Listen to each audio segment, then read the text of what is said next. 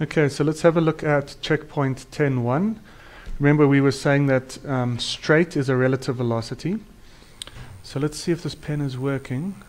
Okay. So um, remember we were looking at this cart and the cart was in the earth reference frame, the cart was moving to the right and then it had a certain velocity and then after it was moving, uh, we dropped this ball and we saw this motion in the earth reference frame. But if we stayed in the cart reference frame, uh, all we saw was uh, the ball dropping down. Okay, so in this figure, what is the ball's velocity? Uh, what is the ball's velocity the instant before it is released? So this is a bit of a. How would you answer that? Well, you could answer it by saying, which reference frame are you talking about? We're talking about the cart's reference frame or the Earth reference frame. Well, that's exactly the point. Um, if you got that, you've got the point. If you are in the in the cart's in the cart's reference frame, then what is the ball's velocity the instant before it's released? Well, it would be zero, because it's it's if you're in this reference frame, all you're going to see is the ball just standing there, and then falling, beginning to fall. Okay.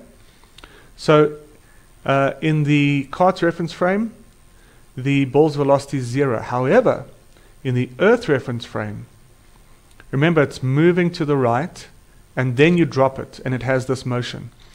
So in the Earth reference frame, it has a horizontal component of velocity.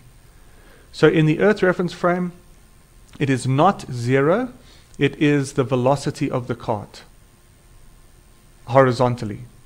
Okay, B. Is the ball's speed in the reference frame of the cart greater than, equal to, or smaller than its speed in the Earth reference frame? So is the speed here greater than, equal to, or less than the speed? Sorry, the, the, the speed here, is it greater than, equal to, or less than the speed here? What is your answer? Well, remember, now we're beginning to work in a plane in two dimensions. If we consider the speed over here, all we are considering is a downward component. Okay? A downwards component.